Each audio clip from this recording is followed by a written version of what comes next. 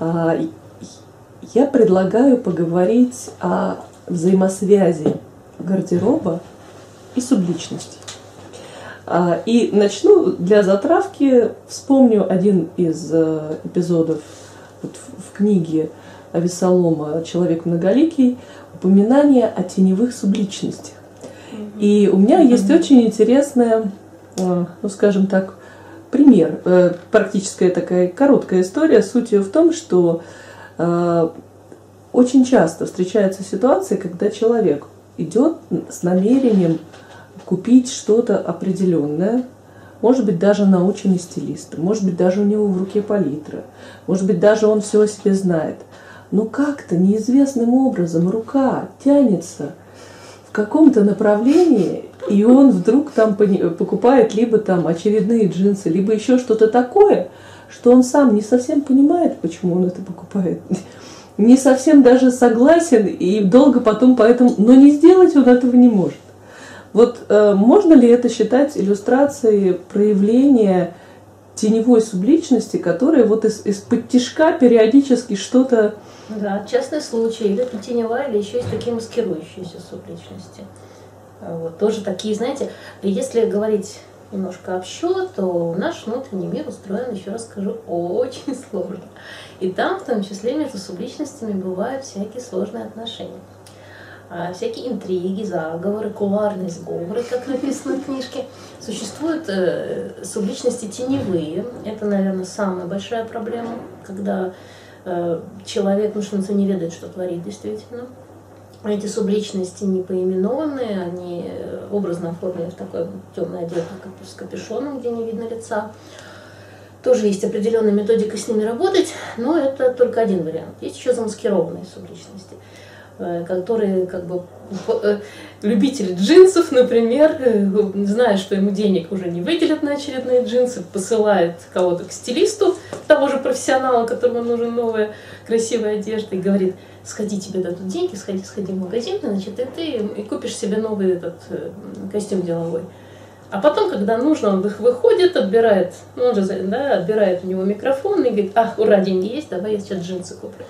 То есть бывают такие ситуации. То есть, как вы видите, в нашем внутреннем мире очень весело живется, с личностям в том числе. Вот, хотя драмы там разыгрываются не шуточные. Но направление, что называется, ведете верно, Татьяна. Это именно Э, какой-то вариант подмены. Вариант подмены. Э, причины могут быть разные. Вот начиная от того, что действительно любители джинсов деньги не дают, до каких-то ну, серьезных интриг, а вот и тайных врагов, а вот не будешь ты никогда красивой, говорит какая-то сила женщины внутренняя. И с этим уже, уже с этим шутить не захочется. Уже это драма, уже это трагедия. И как бы тут нужно, нужно смотреть. Я могу на, на вот теме как раз похудения.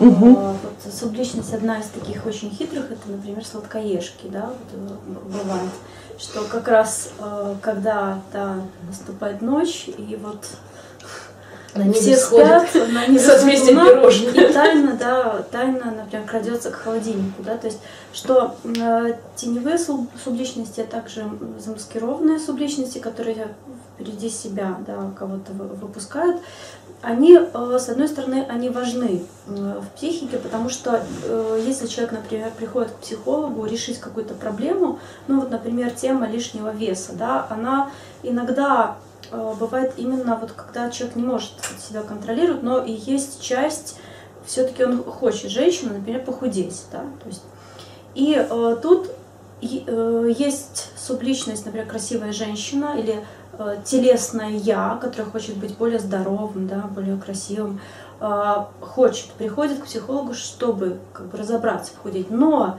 и вместе с тем приходит же тот, кто не хочет, например, сладкоежка даже, да, что вот эта тема, что есть всегда некая инертная да, состав, часть психики, которая сопротивляется какому-то вот э, продвижению, решению. Но э, нельзя работать жестко, вот там посадить в тюрьму эту сладкоежку, да, и вот гнобить всячески. Нет, что нужно помнить о том, что теневые субличности и замаскированные, если они есть, что они как-то организму выгодны. И что, возможно, более серьезные какие-то вот фобии, да, проблемы обостряются, что мы как-то мы живем и выживаем в этом мире за счет того, что мы как-то сбалансированы со, со всеми своими хор, э, хорошими качествами, со всеми какими-то своими проблемами, что мы находимся в каком-то балансе, чтобы выжить, и э, что работа с теневыми какими-то вот этими, да, субличностями, она глубже, что э, женщина, да, какая-то часть ее, например, хочет э, выйти, пойти стилисту, стать красивой, выйти замуж. Но если она много лет э, ну, вообще никогда не была замужем, ей там уже, например, за 40, значит, в психике есть часть субличность, которая против этого замужества. Что это может быть? Это может быть свободолюбивое я, да, то есть самостоятельное я. И как раз оно, э, вот эта теневая субличность может э, саботировать да, происходящее. Нужно договариваться на более глубоком уровне, чем просто красивую одежду. И как раз вот когда есть это саботажник какой-то, да, или теневая субличность, то и возникает тема, когда человек что-то как-то себя ведет, потом говорит, что это было. Ну, то есть он не понимает, почему он так поступил, что это вообще было. Вот. И теневые, но теневые субличности, их можно выводить из тени, давать им имя и даже понимать, чем они полезны. Да, чем они полезны. Роль. Да, потому что с тем же с темой веса, а, например, а, представьте себе, что вот э, там мужчина, женщина, директор. Вот часто повышение по службе, например, и вот ответственность, повышение уровня ответственности, она дает еще нагрузку, и человек становится... Потому что вы понимаете, что директор это важный человек, и за счет нагрузки человек как-то может больше есть, перегрузка, да, но и представьте себе, насколько серьезнее мир воспринимает директора такого значительного и какого-нибудь хлюпика, что вот доминирующее я, и вот это вот тоже оно может э, потеря власти, страх потери власти подсознательный, вот тоже может коррелироваться с темой веса. Тоже это как теневая субличность, вот доминирующая я. Вы знаете, тема вот именно неготовности, которую наше подсознание знает, наверное, лучше своего хозяина. Ну вот вы поймите, что подсознание, оно реально за нас отвечает, вот за нашу жизнь, как бы сколько мы ее осознаем, да, сколько мы не осознаем. А, для подсознания, я думаю, ничего для начала не, не остается равнодушным. То есть, как минимум, первое, когда вот вы идете по улице, идет постоянный мониторинг, опасно, безопасно, опасно, безопасно. Да, вот. И какие-то постоянные с, постоянные, ну вот у нас такие вот неизвестные еще, неизведанные штуки работают, э, которые нам жизненно важны. И вы их никогда не, с ними так просто не разберетесь, потому что подсознание действительно ответственно, да, отвечает за нашу, как минимум, то, что мы добрались там домой сегодня вечером. И э, вот сколько мои наблюдения какой я сделала как бы собственный вывод, что ни разу мы не устроены, или гораздо меньше мы устроены по принципу эффективности, и в основном мы устроены, как весь этот мир, по принципу надежности. Да? Вот что, если с этим разбираться, могу много примеров привести. И э, человек э, бывает просто не готов к своей новой роли. Тогда вот имеющимися инструментами, ну уж теневыми, так теневыми субличностями, раз по-хорошему не получается, человека начинает защищать, как Ольга правильно сказала. А, Весолом, я помню, однажды одной женщине, которая пришла к нему и, сказала, вот, да, вот вы знаете, я такая хожу, э, не очень красивая, уставшая. Он ее помассировал, что-то там, как-то мы поговорили, она расцвела, улыбнулась и пришла через два дня с претензией. Она говорит, я устала, я от мужского внимания устала, мне, ко мне все, ну, все знакомятся, я так не хочу. И, значит, из какой-то красивой одежды, которую посоветовала в салон носить, опять оделась в треники с футболкой и, значит, свою Венеру, как бы скалострелку взяла и притушила. И некоторые люди это умеют.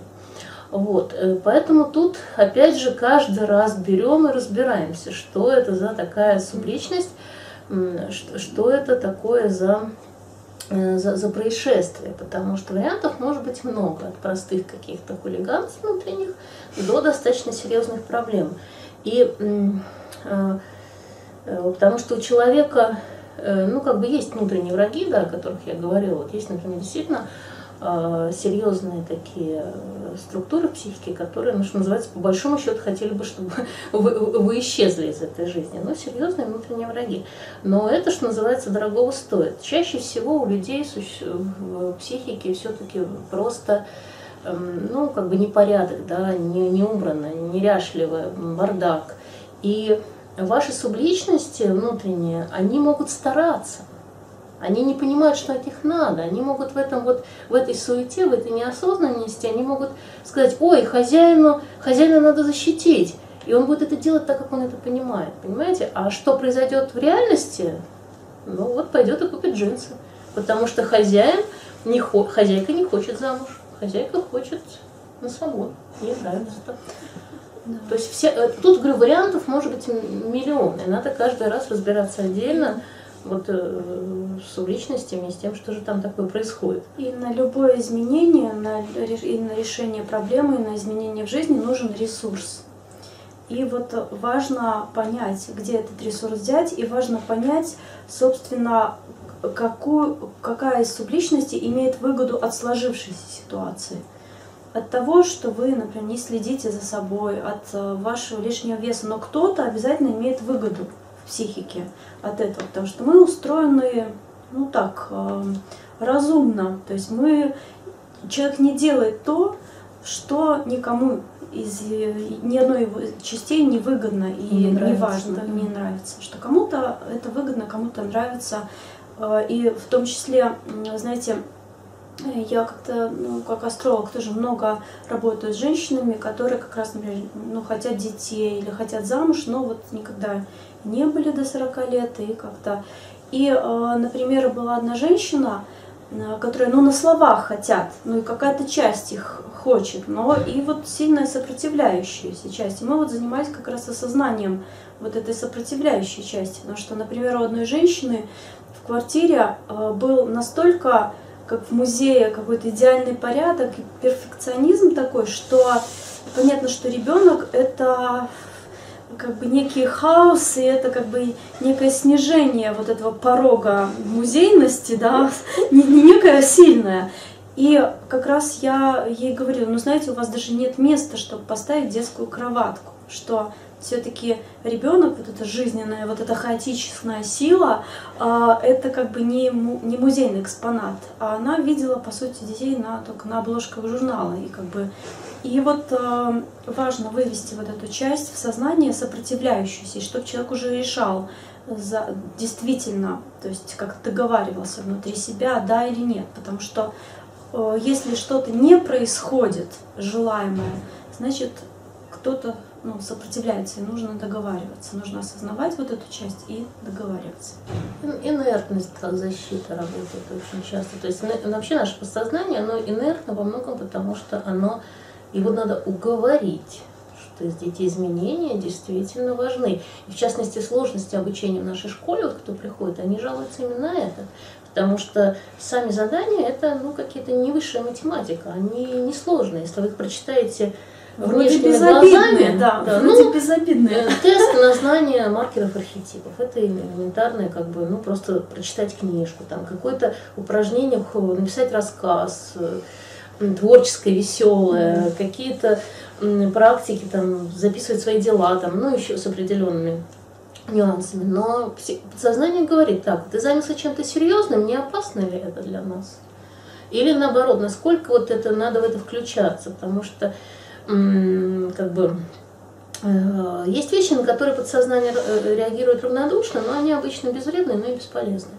То есть, знаете, как это не опасный инструмент, он обычно и бесполезный. То есть, если у хирурга скальпель, то это скальпель, сами понимаете, не буду приводить примеры. Вот. А насчет вот этих вот выборов, это действительно вот есть вот, это опять же вот э, этот идеальный мир фантастический, который надо тоже немножечко, если вы чего-то хотите, притянуть к реальности. Потому что у нас э, был вопрос э, к женщинам, которые часто приходили и говорили, я хочу выйти замуж.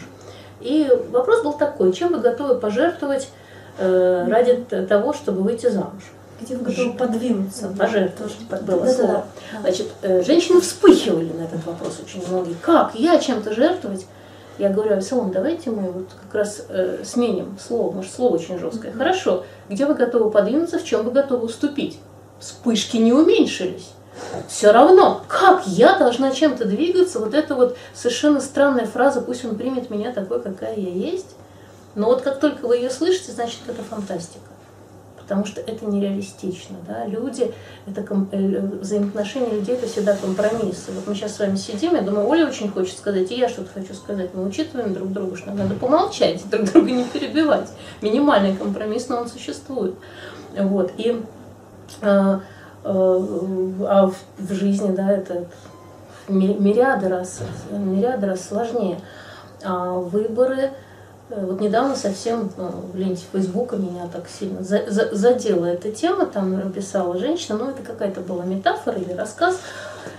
А женщина пишет, я у меня много детей, и я все вот возмолилась о том, что неужели у меня никогда не будет в прихожей чистого ковра.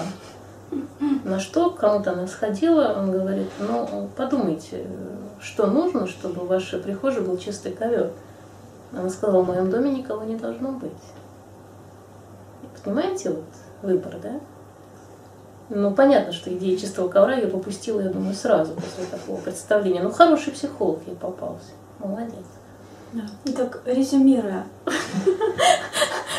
Такое небольшое шуточное, шуточное резюме, что если у вас чего-то нет, возможно, это некуда поставить, положить, да, В числе мужа, да?